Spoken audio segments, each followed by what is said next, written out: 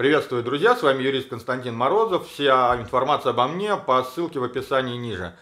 Сейчас я хочу рассказать тоже популярные моменты. Все знают такие слова «залог» и «аванс», но в принципе большинство людей даже не понимает разницу. Я сейчас попробую своими словами э, вам объяснить эту разницу, э, ну, чтобы было понятно на будущее.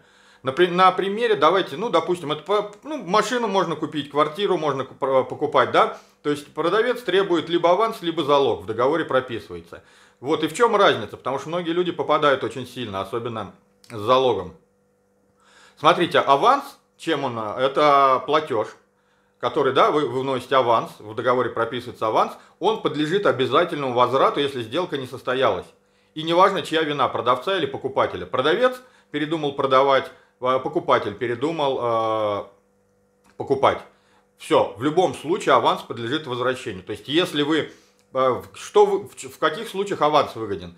Если вы понимаете, что можете, ну, что может поступить вам предложение купить автомобиль получше там, и так далее, то вам лучше аванс. А, если вы можете передумать. Если вы продавец, да, и можете передумать, понимаете, что тоже предложение получше может поступить, то тоже лучше аванс. Все поняли, да? То есть аванс в любом случае возвращается, неважно, кто отказался от сделки. Теперь дальше, что такое задаток? Вот это самое интересное. Задаток, он вносится если покупатель отказался от сделки, задаток не возвращается. То есть по какой-то причине вы передумали покупать квартиру, машину или что-то, задаток не возвращается вам.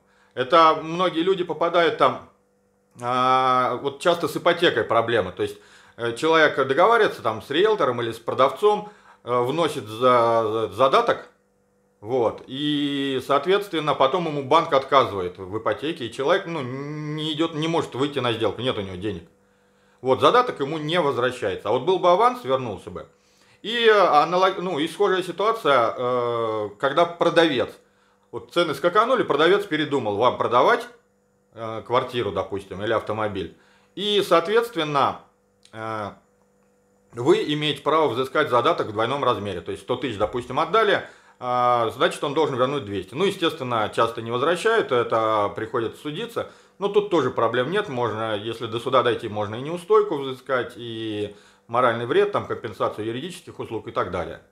Вот это основные признаки аванса, будьте очень вни... ой, ой, признаки аванса и задатка, будьте очень внимательны и осторожны, когда читаете договор, и прежде сто раз подумайте, то есть если вы в себе на 100% уверены, что вы будете покупать этот автомобиль, то лучше внести, а, ну, тогда, тогда без разницы, да, а, задаток или аванс, в принципе, если уверены. Если вы в продавце не уверены, то, соответственно, ваш, ваш вариант задаток. И наоборот, продавцу, если продавец уверен в себе, что он точно эту квартиру будет продавать этому человеку, тогда для него лучше задаток, чтобы если человек отказался, он не возвращается. Если продавец все-таки думает, что ну вдруг не получится там что-то, то тогда лучше аванс просто вернуть э, и все сумму.